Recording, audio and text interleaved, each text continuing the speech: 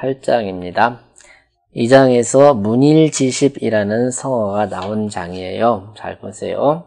자위 자공할 공자께서 자공에게 말하시기를 여, 여, 회야로 숙유 여자는 너 여자예요.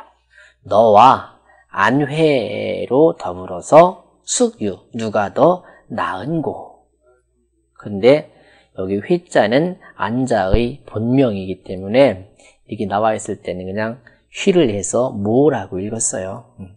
그러니까 네가 안자와 더불어 비교해 볼 때 누가 더 낫냐? 왜냐하면 자공이라는 사람이 머리가 지금 말로 말하면 IQ가 뛰어난 사람이라 남 비교를 참 잘했던 사람이거든. 그러니까 늘상 비교를 하고 공부하는 걸 거의 비교만 하고 앉아 있으니까 공자님께서 진짜 저 사람이 잘 비교할 줄 아는가? 자기는 알고서 저렇게 비교를 하는가 싶어가지고 그래 너하고 응? 그 안자하고 비교해 보면 어떠냐 이런 질문을 던지신 거예요. 유는 승자라 유자는 나을 승자 나을 유자의 뜻이에요. 대활 사야는 하감망 모리 있고 이 사는 자공의 본명이에요. 대답하기를 저는 어찌 하자죠? 어찌 감히 안자를 바랄 수 있습니까? 제가 어떻게 안자를 안자와 비교할 수 있겠습니까? 요즘 말로 말하면 게임도 되지 않습니다. 그런 답변이에요. 모야는 문일이 지십하고 사야는 문일이 지이하노이다. 왜 그러냐 하면 그 안자는 문일이 지십하고 하나를 들으면 하나의 가르침을 받아 들으면 지십하고 열 개를 아는 정도의 능력을 지니고 있고 사야는 저는 문일이 지하노이다. 하나를 들으면 그 들은 걸 미루어서 겨우 두 번째 것이 무엇일 거다 하는 정도는 알 수 있습니다. 요새는 하나 배우면 두 개 까먹고 세 개 까먹는데 하나 듣고 두 개 할 정도면 상당한 실력이에요. 음. 일은 수지 시오 여기 한일자 일이라는 것은 숫자의 시작이고 10은 수지 종이라 수의 마지막이다. 무슨 말이에요? 시작을 가르쳐 주면 끝까지 다 꿰뚫어보는 안목을 지녔다. 그런 말이죠. 이자는 일지대하라. 여기 둘이라는 이라는 숫자는 일의 대다 이 말이지. 하나 가르쳐 주면 두 번째 하나 둘 둘 셋 이렇게 한 단계 뛰어넘는 그 정도의 단계를 말한다 이거죠. 안자는 명예 소조의 안자는 밝을 명자 이 예자는 슬기로울 예자인데 그 지혜를 밝게 비추는 바에 즉시 견종하고 다시 말하면 너무너무 그 IQ가 높고 밝아서 그 사람이 비추는 바에 한번 부디 이제 듣거나 비춰보는 바에 즉시 견종하고 이 즉자는 나갈 즉자요. 시작 그 시작하는 데에 나가면 곧바로 견종. 그 끝까지 다 보고 자공은 추측이지야 자공은 추측해서 알아요. 밀추자, 질축자. 미루어서 재어가지고 알아서 인차의 식피하니 이것을 인하여 저것을 아르니 무소불열과 기뻐하지 않는 바가 없다는 그 말과 저 뒤에 나와 있어요. 고왕지례 왕자는 가왕자고 내자는 올레자인데 옛 것을 가르쳐 주면 다가올 것을 알았다라는 이 두 가지 증거가 바로 그 추측이 지한 증거예요. 무소불열, 기뻐하지 않는 바가 없다 그 말하고 간 것을 지나간 것을 가르쳐 주면 올 것을 알았다라는 그것이 바로 일이 이어 하나를 가르, 들으면 둘을 알았다라는 증거다 말이지. 시기혐이라 이것이 바로 그 증언이 된다 이거지. 재활 불여야니라 공자님께서 그 말을 듣고서 불여야니라 그래 같지 않지 그래 너하고 앉아하고 같진 않지 오여 여의 불여야 하노라 내가 너의 안자와 같지 못한 점을 인정하노라. 이 여자는 인정한다, 허여한다 그런 뜻이에요. 여는 허야라. 호시왈 자공이 방인하니 여기 방자가 중요한 글자인데 방자는 비교할 방자로 쓰인 거예요. 동서남북 방위할 때 방자가 아니고 자공이 방인하니 인자도 이게 사람 인자가 아니라 다른 사람 인자예요. 남과 비교를 하니 부자 기 어이 불급하고 공자님께서 이미 자로한테 이렇게 자공한테 불러가지고 불가 남과 비교할 겨를이 없다. 즉, 네 자신의 속을 채우고 네 자신의 실력을 쌓아야지 남과 비교할 저럴이 있겠느냐 이렇게 말씀한 자리가 있어요. 노노 헌문편 즉 14편에 나와요.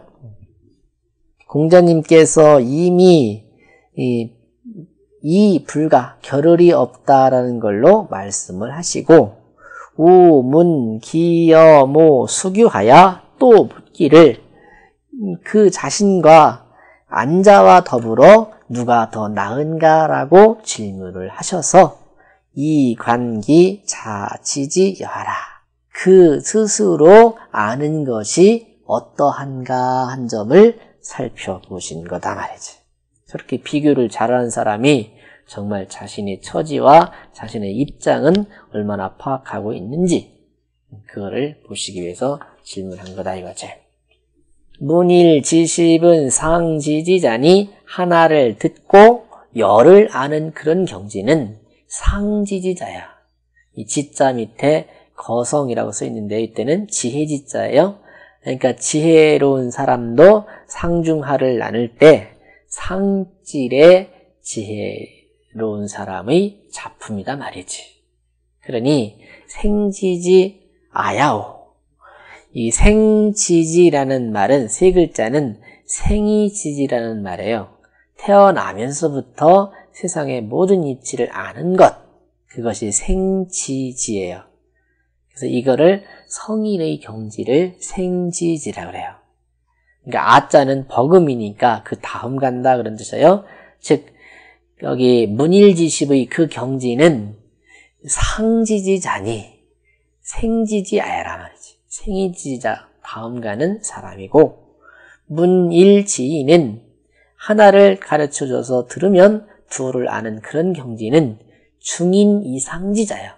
사람도 보통 사람 이상 가는 그런 IQ, 그런 자질이니 학이 지지지 제야라. 배워서 아는 정도의 그런 재주다 말이지. 생이 지지, 학이 지지, 공이 지지 그런 말이 있어요. 태어나면서부터 아는 경지가 있고 배워서 아는 경지가 있고 곤란을 겪고 난 뒤에야 깨우치는 경지가 있고 공이 불지자가 있어요. 곤란을 겪고 나서도 또다시 그런 짓을 하는 경우도 있어요. 그게 사람의 지혜를 이렇게 나누는 말씀이에요. 여기 학이 지지자는 그 다음쯤 되는 거죠.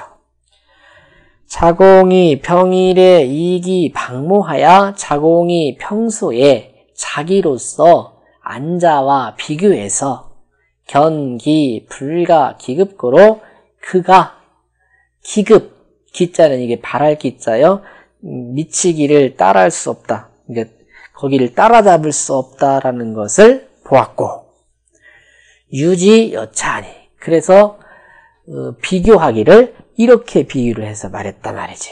문일지십, 문일지이 이렇게 자기가 비유해서 대답을 했으니 부자, 이기, 자, 지지명이 써있자는 뭐뭐로 생각하다 이렇게 써야 되겠네요. 공자님께서 그가 스스로 아는 것이 박다고 여기고 우, 불나노, 자굴고로 또 자신을 굽히는 데에 어렵게 여기지 않았기 때문에 무슨 얘기냐면 인정할 건 인정했기 때문에 고로 기연지하고 이미 아 그렇지 라고 답변을 하시고 우중 허지하니 중자는 거듭 중자예요. 또 거듭 그것을 인정을 하셨으니 차기 소이 종문 천 성녀 천도요. 이 점이 바로 그가 끝내 성품, 이 성, 인성할 때 성자와 천도에 대한 이치를 들을 수 있었던 이유가 되고 소이는 뭐뭐 이유가 그렇게 되니까요. 불특 문일지이 이야라. 특자는 다만 특자예요. 다만 하나를 듣고 둘만을 아는 것이 아닐 뿐이었더라 이거지. 이렇게 자신이 아는 것은 안다 하고 모르는 것을 모른다라고 인정을 할 때 분 것을 얻어 들을 수 있단 말이죠.